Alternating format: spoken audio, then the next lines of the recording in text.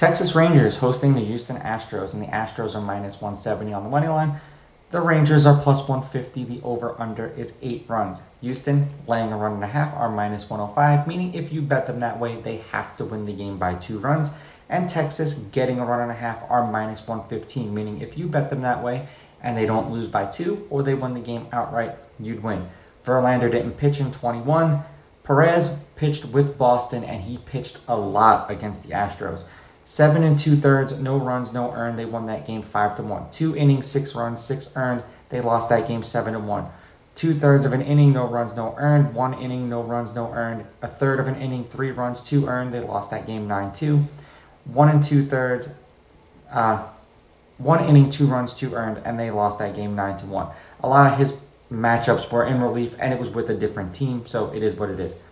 Head to head, the road team's on a two game winning streak. The Astros are 7 and 3 in their past 10 against the Rangers. The team getting or laying runs is 5 and 5.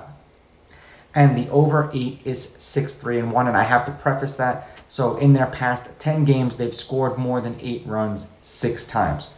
I'm going to take the Astros with the money line, the Astros laying the runs, and I'm going to go over, and people are going to look and go, How could you do that with these pitchers on the mound? The Astros simply just have to score five runs, something like that. And who knows what's going to happen when these teams go to the bullpen. Let's see if I'm right. Let's see if I'm wrong.